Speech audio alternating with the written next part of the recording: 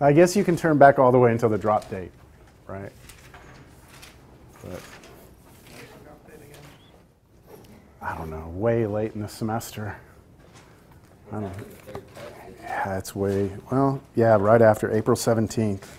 Yeah, it's like two days after our test. Yeah, I remember last semester the third test was like make or break for me. yeah. All right, well, let's get started. Um,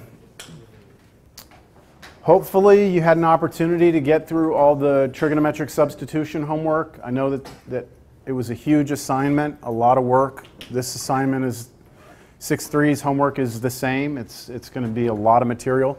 But as soon as we're done with this section, we're, we're kind of done with our integration techniques and we get into applications.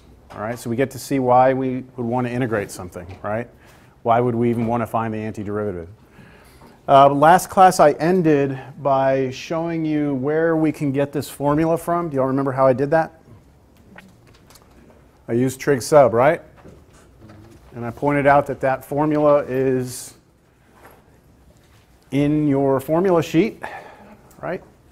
And that there are others there. So let me kind of give you a layout of, of what we're going to try and do here. We are going to try and do integrals later on where we have integrals involving rational functions. These are rational functions. In college algebra, we would graph these vertical asymptotes, horizontal asymptotes, all these different things, x-intercepts. So these are, are rational functions. How do we integrate them? Well, to do those, we will use partial fraction decomposition. But before we can do those, we need to make sure that we can handle these types of integrals first. Because the problems that we're going to have, those ones I showed you with the rational functions, they will break down into multiple integrals. So we'll take one integral, it's a rational function, we'll break it down into multiple integrals, and each of those integrals is going to hopefully be something you know how to do or like something one of these, all right? So if you can't do these, you're not going to be able to do the problems later. So we've got to make sure we're all on the same page here. So let's take a look at this first example. And what I want you to pay most, most of your attention to is the fact that we have a constant divided by a linear function or a linear expression in x. And when we have this situation, it's a very straightforward integration. Basic u substitution, u would be the denominator, du is just dx. We rewrite the integral. What can I do with that 2? Just pop that 2 out of the integral. We would have 1 over what? u. And then dx is du, so du.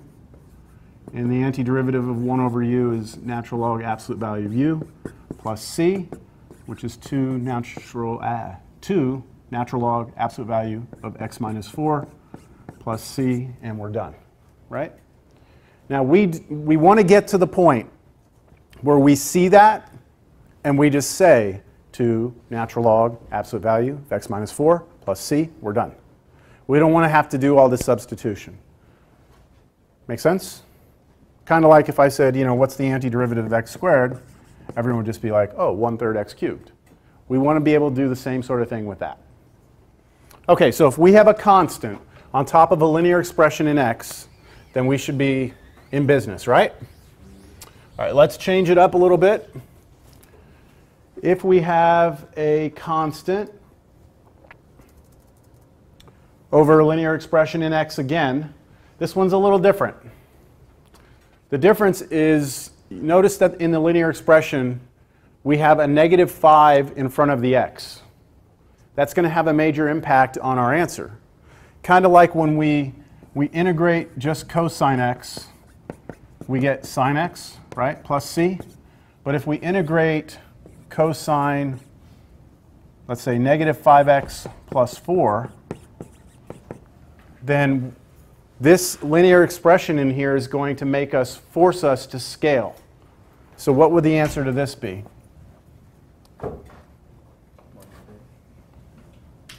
Negative 1 fifth sine negative 5x plus 4 plus c. Everyone understand where the negative 1 fifth comes from? Because when you take when you do chain rule on this and take its derivative, when you get to the inner part of the sine function, a negative 5 is going to pop out and you've got to kill that off, right? That same method, same principle is, is at play here. So let's see if we can just write the answer down first without doing any u substitution. Then I'll do the u substitution to confirm. So what would the answer to this be? Well, we know it's going to be natural log of 4 minus 5x, right? Plus c. Because the derivative of this is 1 over that, right? But then derivative of what's inside would, would give us that negative 5. And we don't want that, so negative 1 fifth out here should take care of it. Make sense? So again, we would want to just look at that and be able to get to that answer. With me? Now, if we did it, you know, by hand, our u would be 4 minus 5x. Our du would be negative 5 dx.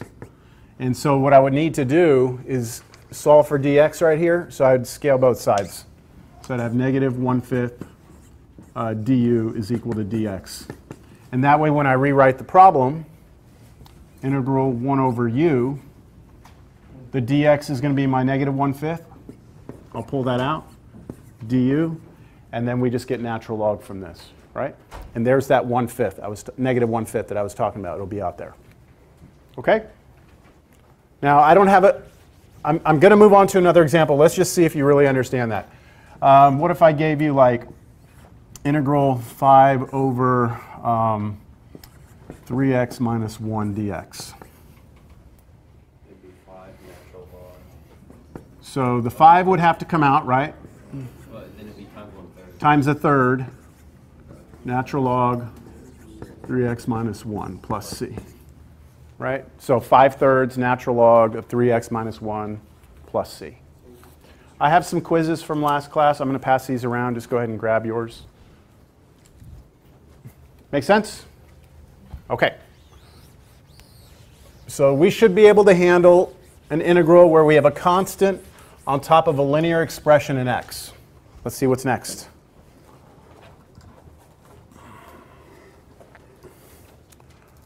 What if we have a constant over a repeated linear factor? So this time, constant on top, repeated linear factor. Linear factor, the 2x plus 1 is linear, right? To, to say repeated means that it's, it's actually written twice.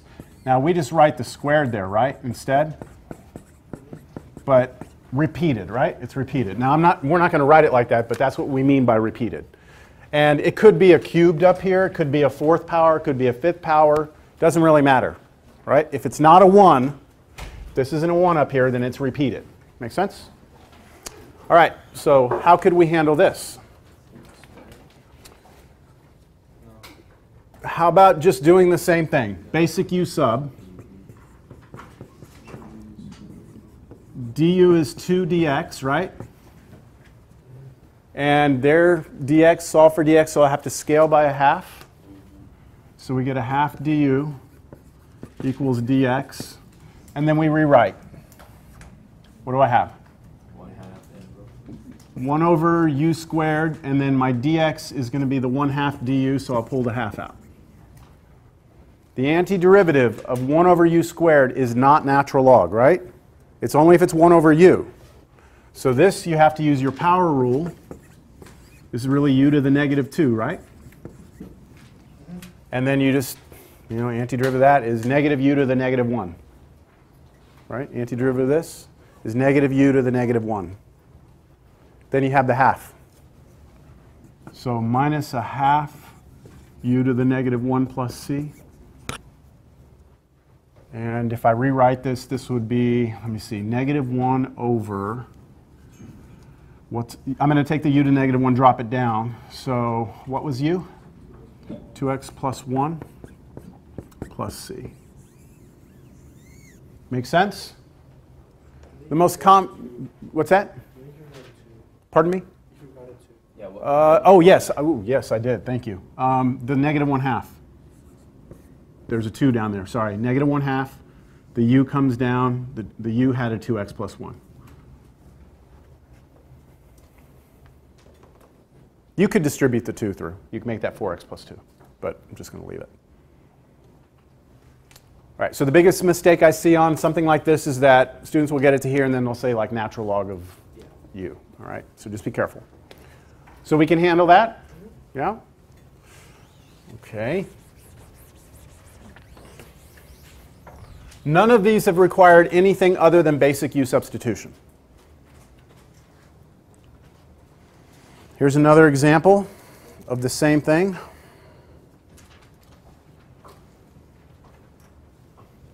Constant over repeated linear factor. So this would be what u is x minus 5. And when you see u is x minus 5, when you see that there's a 1 in front of the x, right? That means you're not going to have to scale by anything. But if you continue with the substitution, then you would see that. du is dx. And my new integral is what? 1 over u cubed du, right? Which is integral u to the negative 3 du, which is, yeah, be careful with your numbers here. Negative 1 half u to the negative 2 plus c. So you're adding, you're adding 1. Now I'm gonna, yeah, you can, you can pop that thing down to the bottom so you have like negative 1 over the 2 which is on the bottom and then the u squared, what was u?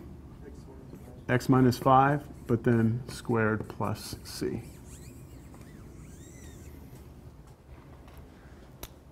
Is this okay? Pretty straightforward? Don't worry, it's going to pick up a little bit here.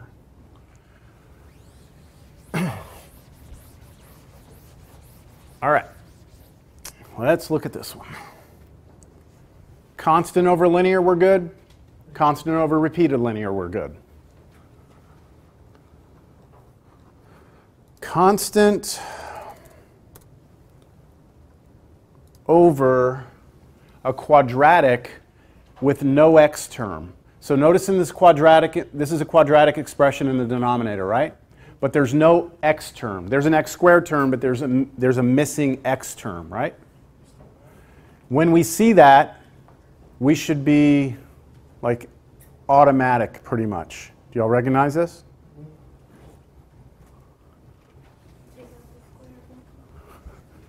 Uh, how do you mean? Go to the beginning here. Does that look familiar?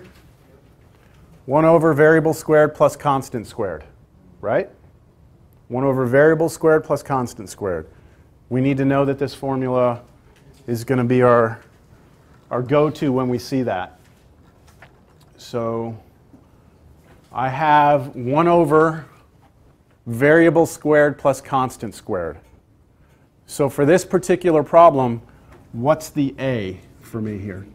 a is 3, right? It's the square root of the 9, which is 3. And the formula says the answer is 1 over a arctan of the variable over a. Right? So I'm just going straight to the answer. Formula 17, I'll just let everyone know that's what I'm using. It's 1 over a arctangent of the variable x over a 3 plus c done. Nothing else to do. So we have to write number seventeen. Um, you don't have to write number 17. I'm just doing that for your, for your reference. So on an exam, I would want you to do it this way. This can also be done by trig sub by turning this into this and going with the trig substitution that x is equal to a tan theta and then going, you know, going to town with that. That's going to eat up 10, 15 minutes on a test. I don't intend for you to do that. If you've got a formula, use it. All right? You just need to be able to recognize that this is a common formula. Okay? Not a one on top, like it was like a, another number. Okay, so let's say this had been a 5. You just pop it out, and you'd have 5 thirds. But you wouldn't, the 5 would have no effect on this. Okay? Let me give you something else. I want to I want to see how you do with this. What if the problem was integral, all right, 7 over x squared minus 9 this time instead of plus 9? That is not formula 17. So you could use trig sub, but look at your formula sheet. Do you have anything on Yeah. that page? What formula is it? Number sixteen? 16? Oh, wait, no. Or 19. That's eight. Um, What is it? 19? No, What does formula 19 say? Which one says u squared minus a squared? twenty. Okay, so this is formula 20. It says that this is equal to 1 over 2a natural log of u Minus. minus a over u plus a Yep. plus c. You are allowed to use this formula because it's on your formula sheet. Where does this formula come from? Trig sub, right? I could sit here and we could do this problem with trig sub and we would work it all out and we would get to this eventually. That's why I showed you the first one. So do you do, uh, one sixth times one half, one seventh in front, and then the rest would stay the same? Yeah, let's do it. Let's actually use it now. Over here, our variable u is x, right? And a for us here is 3. So we're going to go to this formula. It'll be 1 over 2 times 3, natural log of x minus 3 over x plus 3 plus c. So, uh, wait, ooh, my 7. Sorry, my 7. My fault. That 7 should have come out, right? So the 7's out here in front. So it'll be 7 sixths natural log x minus 3 over x plus 3 plus c. It's a terrible 7.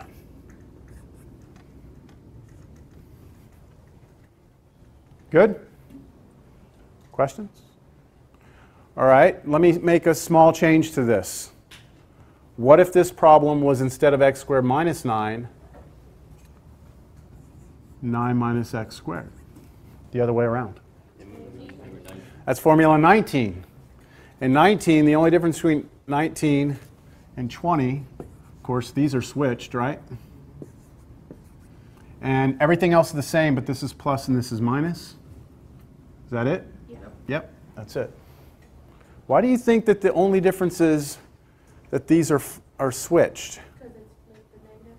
Yeah, because if you were to take, take this problem right here, if I were to factor a negative 1 out of the bottom, take it out of the integral, wouldn't I be back to this? If I factor a negative out of the bottom, then I would have a positive x squared and a negative 9. And then this right here is formula 20, isn't it? So you have a, you would have a negative in front of formula 20. So let me go back to formula 20 here. I know this is going to seem confusing, but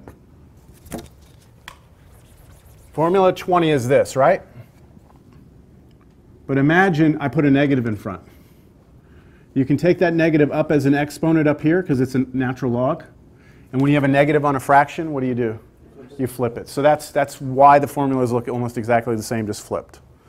But who cares? You've got, you got the formula, right? You can do it either way. So if you have a constant over a quadratic and you're missing an x term, you can handle these whether it be x squared plus 9, x squared minus 9, or 9 minus x squared, right? All three different scenarios you're covered, right? Pardon me? Well, no, you can still handle it. Let me, let me give you one more. What if it was um, 5 over x squared minus 3 dx? Yeah, so you pull the 5 out. And then this right here, we can still look at that as being something squared. So a for us here would be what? Root 3. Right? Because if this was a 9 earlier, we said 3, right? Which is just the square root of 9. If this was a 4, we would say 2. If this was a 25, we'd say 5. But if it's a 3, we say, well, whatever the square root of 3 is. Yeah? And so the answer to this would be 5 times And I'm using formula 19, which is going to be 1 over 2 times 20, okay, number 20. So 1 over 2 times a, natural log, x minus a, so minus root 3, x plus root